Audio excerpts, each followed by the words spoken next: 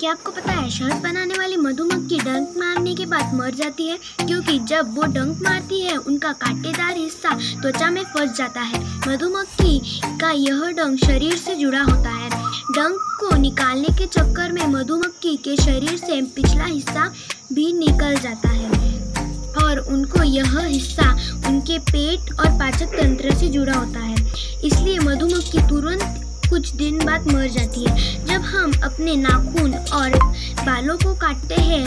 कोई, हमें कोई दर्द महसूस नहीं होता, क्योंकि बाल और नाखून मृत्यु कोशिशों से बने होते हैं। अगर नाखून और बालों को जड़ से खींचते तो बहुत, हमें बहुत दर्द महसूस होता है, क्योंकि उन्हें जड़ और जीवन